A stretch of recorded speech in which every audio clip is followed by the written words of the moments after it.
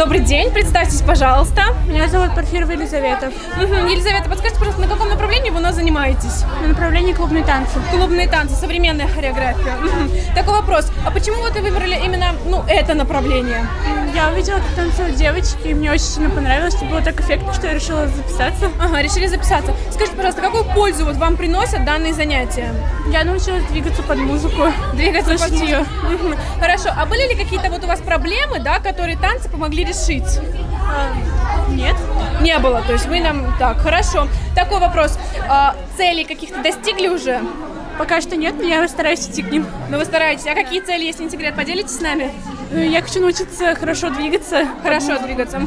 Ну хорошо, раз выступаете на сцене, значит, наверное, уже получается, да? да, немного Так, получается. такой вопрос. Скажите- Подскажите, пожалуйста, порекомендуете ли вы нашу школу танцев своим дру- друзьям? Да, конечно. Мгм, То есть, если будут спрашивать, вы скажете, что школа танцев? Да. Отлично, все, спасибо большое, ждем вас на занятиях.